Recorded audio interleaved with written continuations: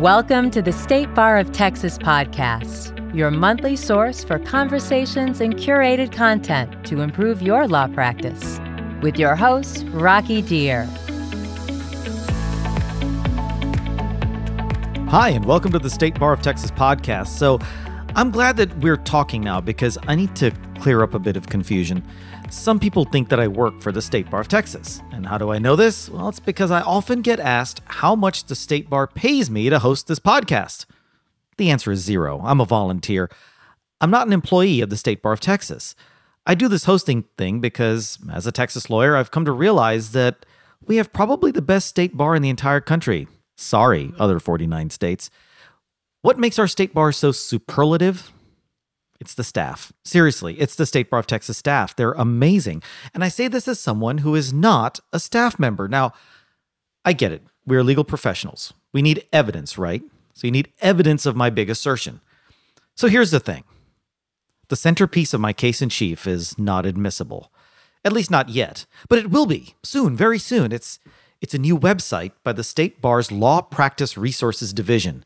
That website is www www.texasbarpractice.com www.texasbarpractice.com. The website is dedicated to helping Texas legal professionals find the tools that they need to make their practices and, frankly, their days easier to navigate and more effective. Now, I got a sneak peek at a few of the pages of this website, and I got to say, now I'm going to sound like a huge nerd here. I am truly stoked at the depth of this new site. It's going to be super cool. And here's something else that's super cool. We get to learn more about this website from the woman who helped spearhead its creation. Her name is Sharon Sandle. Now, remember when I extolled the awesomeness of our State Bar staff? Yeah, well, Sharon is a member of that group. She's the State Bar Director of the Law Practice Resources Division, a position she has held since 2016. She's been with the State Bar since 2005, so she has plenty of history of awesomeness and a heck of a lot of street cred. But wait, there's more. She's not just a staff member at the state bar. She's also an actual member. She graduated from UT Law and has dedicated her career to serving her profession from the other side. This also means that Sharon knows a thing or two about the practice of law and how to make it easier. So we've got yet another amazing resource right here at our fingertips as Texas lawyers. So without further ado, Sharon, welcome to the State Bar of Texas podcast. Thanks for being here. Thank you for having me here. Absolutely. So, you know, I'm, I'm trying to think back, and I think you might be the first official staff member to be a guest on the podcast. I think that's pretty cool. That is cool, and and I'm surprised by that. But um, but wow, what an honor! Well, I, I take that back. We've had Trey Apffel as the executive director, but you know he's he's like a big muckety muck, and now and now we've got one of the directors, and so it's it's it's actually really cool to to have somebody who's who's at the front lines working on some of the new stuff. It's it, it sounds like you guys have been staying busy during the pandemic. It's no sleep yes. for the weary. right, right. No, we've we've definitely been staying busy. Uh, I think at times busier than we've ever been. Uh, we were up and running about uh, a couple days after the the law center in Austin closed down. Uh, sure. We had all of our staff working from home, and we were up and running, and uh, didn't really miss a beat uh, it was it was an interesting uh, time because we were in the middle of working on this new website, and so we had to drop everything for a couple days, get set up at home, and and then just keep going with it. Well, okay, so let's talk about the website here for a second. It's www.texasbarpractice.com. Right? Do, right. do I have that right? Okay, so yes. Now, how long has this been in the making? Uh, we probably came up with the idea for it about a year ago, uh, but in the making, it, it's really been longer than that because what we tried to do with this website is we tried to think about all the questions that we had been getting from state bar members about law practice management, all the concerns that we were getting from customers who buy the Texas Bar Books products, mm-hmm. uh, all the all the things that we had been hearing from uh, Texas lawyers over the years, kind of went into how we designed this website. We tried to think really hard about what people needed and what people wanted for their practice, what would make their lives easier. And then we tried to, to create a website that would do that. although the idea for it was really about a year ago, there there's probably been at least a decade or more of work put into it in terms of of the uh, experience that we've gained in in working with Texas lawyers over the years. Uh, but we came up with this idea about a year ago, and and we really started working on it in January. I mean, thank goodness that the that the domain name was available texasbarpractice.com how much would that have sucked if that was just taken? That's true. We'd have thought of something else but it was it was lucky that lucky that we were able to get that one yeah. Lawyers ice cream bars or something. I don't know. We'd have, we'd have found something else. But you said you you got feedback from a lot of texas lawyers. So was this was this all based on feedback that came to you or did you go out and survey people to kind of figure out what types of things they'd want to see how, how did you how did you sort of compile the types of information that would be presented on the site? A lot of different ways. We have done focus groups over the years, and that has helped us a lot. But we've also, for a long time now, we've been tracking um, what kinds of phone calls and emails and questions that we get from lawyers who call us up or send us in a question or come to us with a problem. And uh, we look at that internally in the Law Practice Resources Division. We've got, we have meetings um, every month where we look at those particular questions and concerns that, that we're hearing about. And then we also have a Law Practice Management Committee. And that committee is also keeping track of what kinds of questions are we getting, what kinds of concerns are, are we hearing. And then we try to tailor both the, the content that we come up with, but also we try to tailor the way the uh, our website works to to kind of deal with those concerns. Well, uh, all right. So we'll talk about what's actually going to be in the website in just a couple of seconds because based on the preview that I saw, there's going to be some cool stuff in there, and and so I I, want everybody to hear about this because I think they're they're going to love it. But talk to us about the goal. You know, we've already we've already got our our actual Texas Bar website. So, what's the goal of creating a separate and distinct website from our current one?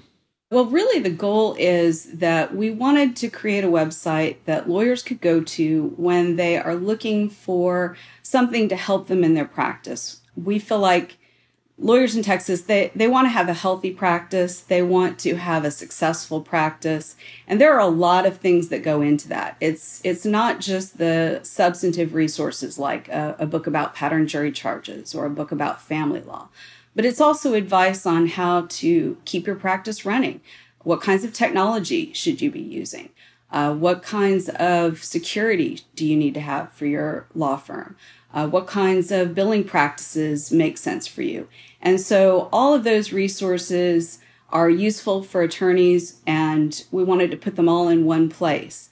Uh, before this website's launch, there were really a, a, multitude of different sites. There's the main state bar site, but there's also a Texas Bar Books website where you can sure. go to to find books. There's also a law practice management website where you can go to find those kinds of resources. That didn't make a whole lot of sense. Makes a lot more sense to put them in one place, and we're hoping that um, it's it's a place that attorneys will want to visit regularly because they're finding things that are useful for them.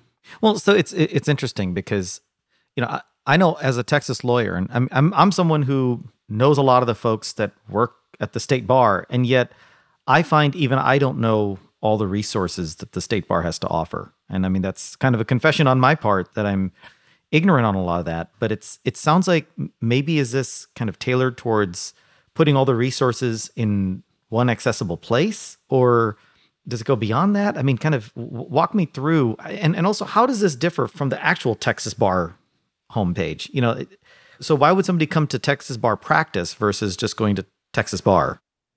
That's a great question. And, uh, you know, I, I, think you're absolutely right that one of the challenges that the State Bar has is that we really do so much. There are, are so many different programs, there are so many different resources, and it can be really hard to find exactly what you need from the State Bar.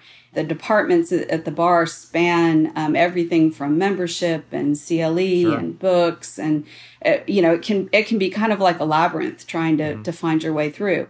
And I think that the State Bar's website is great, but it is definitely a place where people go to do things like pay their dues and mm-hmm. um, take take a look at you know have I have I got my CLE credits for the year, sure. things like that. uh, we wanted to create a place that that really was not so much what you need in terms of dealing with the, the state bar and the, the regulatory aspect of the state bar, but more what would help you day to day practice law? What kinds of, of resources would would help you create a, a healthy, sustainable practice, something that you're interested in because it, it's going to help you out? And without having to go through that labyrinth of of the other really important resources that you maybe need every now and then but you don't need on a day-to-day basis. So that that's really the idea. Now again i i i cheated in a little sense because you gave me a, a sneak preview and so I was able to see kind of what's in there so I kind of know the answer to some of this, but can you talk about what the site covers? I mean, I know there's books and there's how to start a practice, and we'll talk about some of those a little bit, but can you give us an overview of what all is covered on the site? Sure. So when you when you first go to the homepage of the new site, you are asked to to create an account. It's it's a free account. Um, it, it's just Woo, a way for free. us to, yeah, free. We account. like free. Yes. it's just a way for us to, to, you know, a lot, a lot of the resources there are, are specifically for Texas lawyers. And we want to, you know, we want to uh, be providing this as a benefit for Texas lawyers. So within the site itself, you can do things like you can take a look at the law practice re- uh, management resources that we have. Uh, you can take a look at some videos that cover practice management topics. You can take a look at some articles that cover how to run your practice, how to create a, a technology plan, how to create a business plan for your practice. Um, you can also download some forms that that again are are free um, to to use. Uh, then you can also go over to the Texas Bar Books portion of the site and take a look at some of the the books and online resources that are more substantive. Things like um, I already mentioned the the pattern jury charges, but we have several practice manuals as well that can either be purchased in as hard copies or they can be purchased as an online subscription, and then that subscription runs through the website as well. And then um, one of the aspects of, of the site that I think is, is going to be helpful for folks who are interested in some of those subscriptions and some of our products is that you can manage your account through the website. And that was uh, probably from the Texas Bar Books side of things the question that we had people calling us about more often than anything else was, hmm. you know, can I just go online and pay my bill and manage my account? And um, we've tried to make that really easy to do. But that's going to be on Texas Bar Practice. That's not going to be mm-hmm. on the texasbar.com site because again, there you got you're you're effectively keeping two separate accounts. Right? Yes, One it is, is okay. it is two yeah, it is two separate accounts. And so the account on Texas Bar Practice is, is going to cover the resources like a, a subscription to the Family Practice Manual. And one of the, the other nice things about that is that um, your account can be linked to a law firm. So that if oh, okay. um, if if the firm has a subscription to some of our materials, they can um, see in one place what attorneys are entitled to use as materials. They can add attorneys. They can uh, manage the resources when an attorney leaves the firm. So I think that is going to be really handy for people as well. Oh, that's interesting. So that way, that way, entire firms can can buy a subscription. You're not having to do it individually by attorney. Absolutely. Okay. Now, I, I did notice the guide to starting a law practice, which looked kind of interesting, and I could see that being interesting, especially for maybe for younger lawyers, or I should say, more newly minted lawyers who are looking to go out on their own. And so, and you even had a part on there about partner compensation. Did I read that correctly? Where you can figure out how to structure partner comp. I mean, that's, I mean, I mean, talk about talk about wading into murky waters. I mean, that's that's that's a big issue at a lot of firms. But there's actually going to be resources and ideas on how to structure partner compensation. Am I reading that right? Yes, what what we're uh, what we try to do, uh, as I mentioned, we've got a committee, the uh, Law Practice Management Committee, that's a sure. standing standing committee of, of the state bar, and what we try to do is really tap into the expertise of the members of that committee and ask them to um, either do a short video or to write about um, a topic that they feel like they've they've got something to say about and something that they think is important for lawyers. And so that was one of our, our newer resources that came out of some of, of the recent work of the committee. I'm kind of excited about the fact that that now uh, since the pandemic, one of the, the things that's a little easier is to do things like uh, record short videos sure. um, just through Zoom. So it's it's gotten actually easier for us to tap into the, the expertise of that committee and bring resources very quickly online. Yeah, well, it, and I got to say, it, it kind of struck me as maybe gutsy to sort of talk about partner compensation. I mean, I, I don't know how many other how many other state or local bars are doing that, but you know, I, I know years ago when I was looking into that very topic, it was you know, it was kind of like an, and it, it depends. And you talk to different lawyers, and some people want to reveal, some people don't, you know, about what they, how they do their partner compensation. In some cases, it was an hour long discussion because there were just so many different variables to it. But so to actually tackle that is, is, is interesting. So if you've got a couple of lawyers that want to start up a practice, you're giving them a guide on how to, how to structure their, their relationship in a sense. Well, you know, I, I, like that, that you said it's gutsy. I, I hope that this website is gutsy because um, what we found over the years is that people call us with difficult questions. Sure. And and they're looking for some advice. And and although um, it, it is sometimes difficult, there's not a clear cut answer. I would yeah. definitely rather give, uh, you know, go to our group of experts on the Law Practice Management Committee and say, look, can can you give folks something? to go on, some kind of advice, something that will help them at least get started. Because otherwise, if, you know, if you're just, if we're just putting up articles that everybody's heard before on topics right. that everybody's familiar with, I don't think it's really going to be a place that, that people feel like they need to visit. Instead, I hope that, that they find some, some interesting topics and um, it, it gets some discussion going on some of these, these problems that aren't really very easy to find an answer to. You also talk in the site about technology issues, and I know that's been that's been another thorny kind of burr in people's saddles. You know, especially lawyers who say, "Look, I don't I don't really know that much about technology. I don't know what I'm supposed to do with technology. I still like getting faxes." I mean, what you know, there are people of different ends of that spectrum.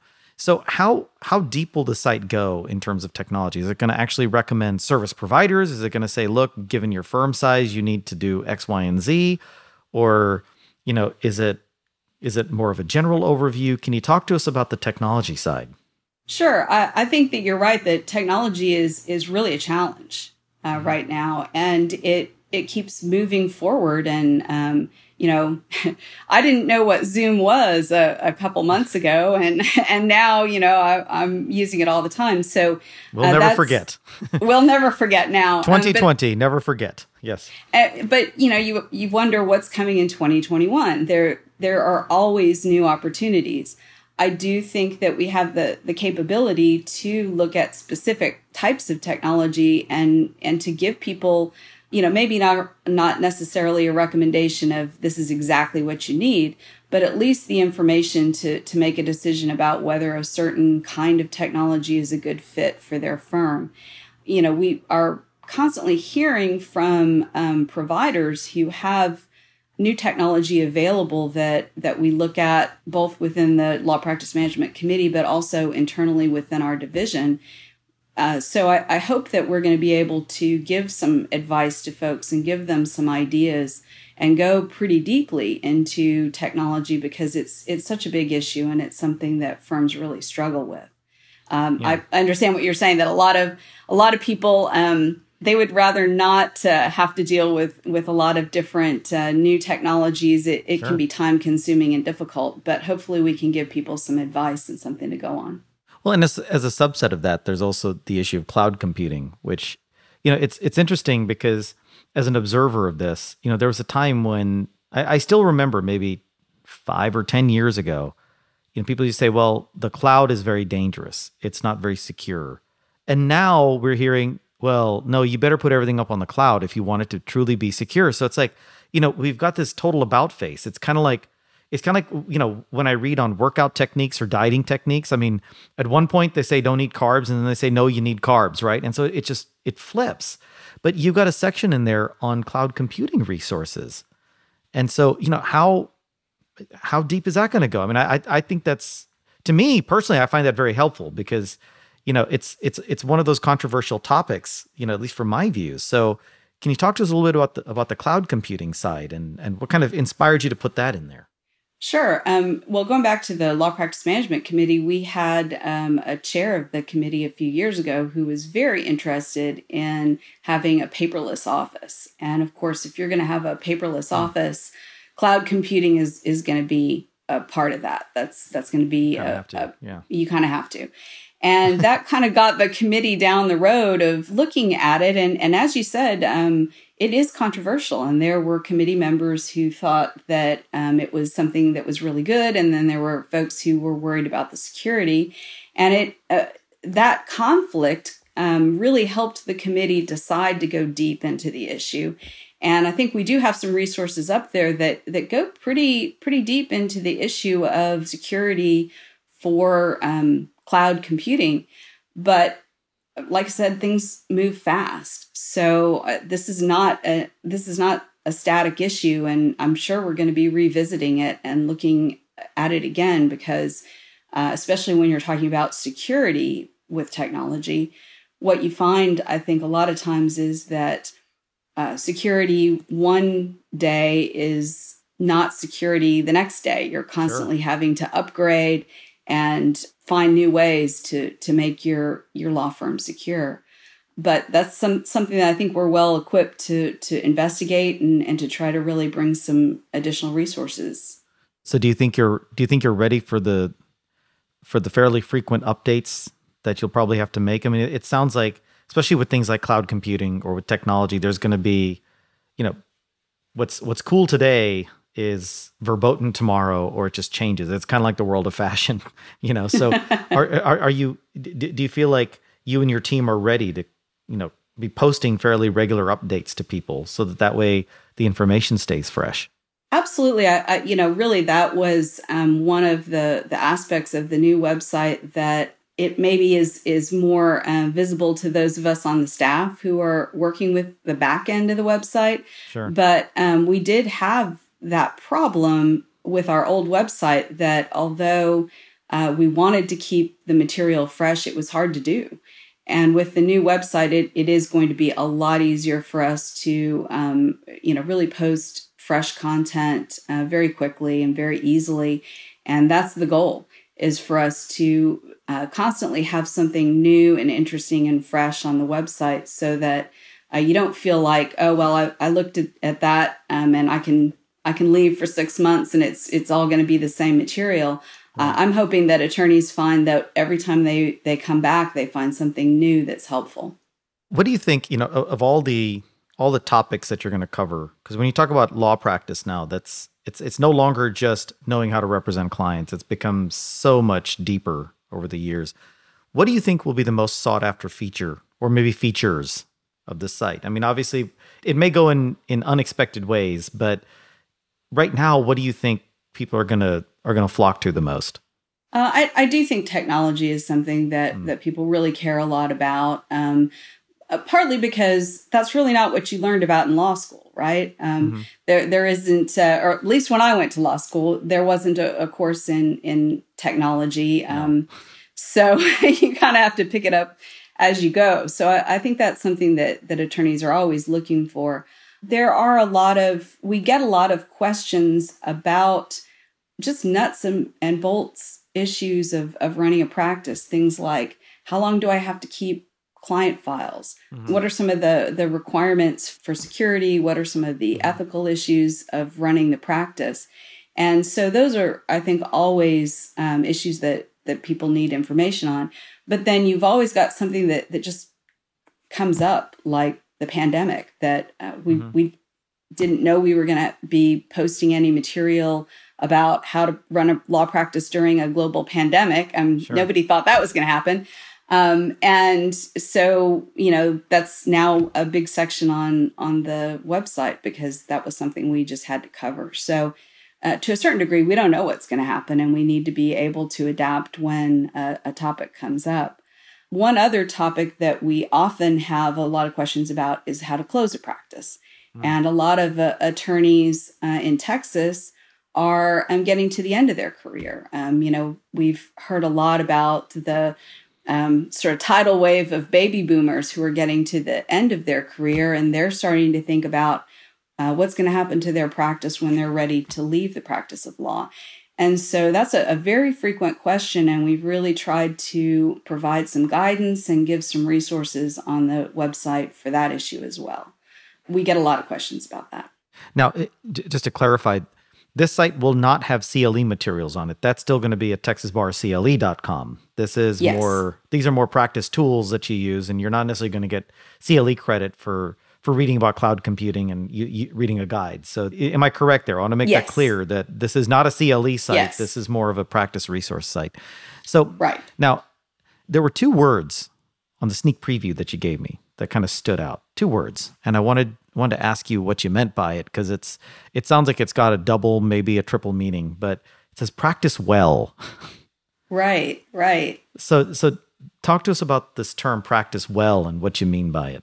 Right. Yeah. Um, we we really did think very hard about that term. Um, really, our our thinking there is that if you're running a law firm, you want that law firm to be successful. You want to do a good job practicing law. So you want to practice well in the sense that um, your law firm is successful and it's sustainable and sure. um, you're doing a good job.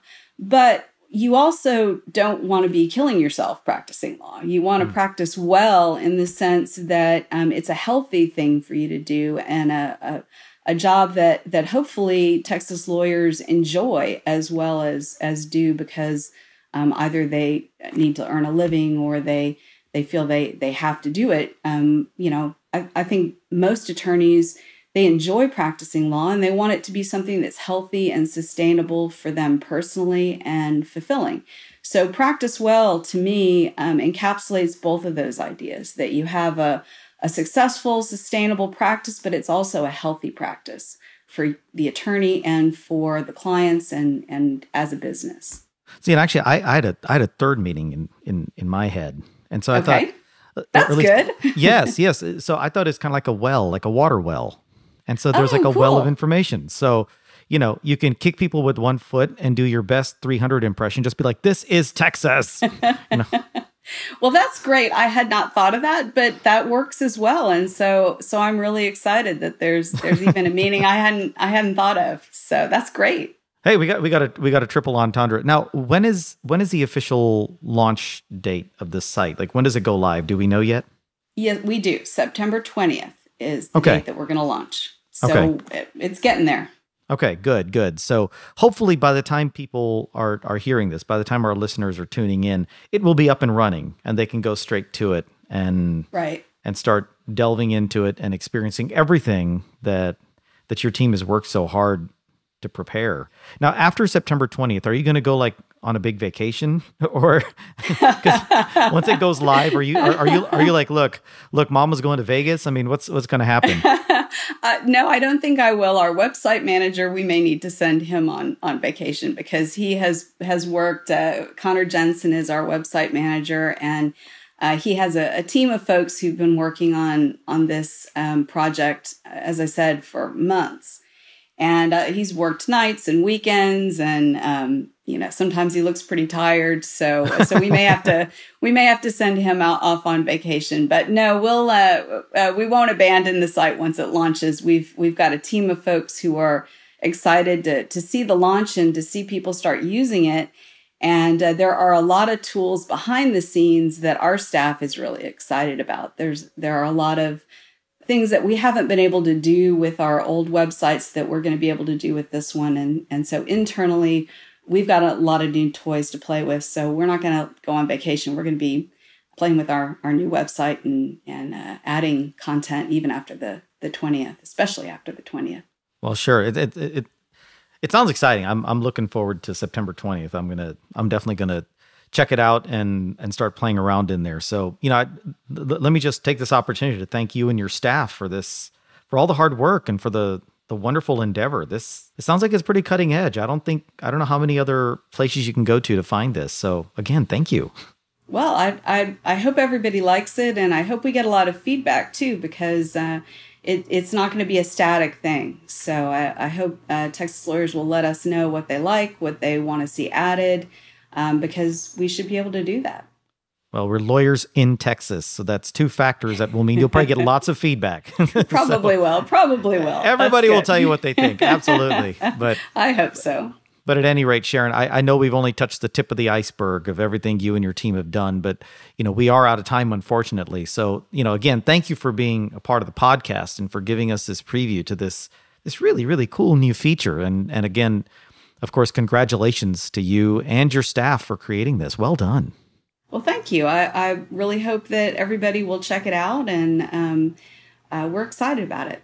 Absolutely. So, and you know, I want to thank you for listening in and tuning in and being a part of this as well. And I want to encourage you to save www.texasbarpractice.com in your bookmarks and keep an eye out for the launch on September 20th. And of course, above all else, please stay safe during these unusual times and make sure you follow all applicable orders for dealing with COVID 19. And please advise your clients and loved ones to do the same. The situation is changing fluidly and rapidly, so please seek out legal counsel if you have a question. And of course, if you like what you heard today, please rate and review us in Apple Podcasts, Google Podcasts, or your favorite podcast app. Until next time, remember, life's a journey, folks. I'm Rocky Dhir, signing off for now. If you'd like more information about today's show, please visit LegalTalkNetwork.com. Go to texasbar.com slash podcast, subscribe via Apple Podcasts and RSS.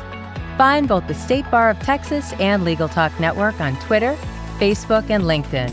Or download the free app from Legal Talk Network in Google Play and iTunes.